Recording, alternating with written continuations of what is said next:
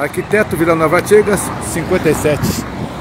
Buracos, buracos, buracos. Asfalto em mau estado.